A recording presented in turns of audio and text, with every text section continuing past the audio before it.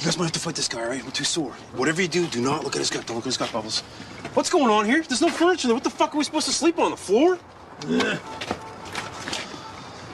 What's going on here, Mr. Lahey? Huh? Where's my furniture? It was there two hours ago. That's what I'd like to know. I don't want to sleep on a fucking floor, neither do these guys. What are you looking at? Nothing. Huh? Nothing. I'm calling the cops, man. You can't call the cops. I should call the cops. I could sue you. I rented a room. There's nothing to sleep on but a floor. Stop looking at it.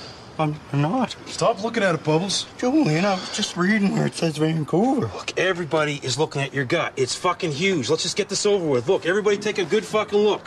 What's the big deal? That's not a big deal. What do you have a problem with that? I don't have a problem. It's you guys who keep looking at it.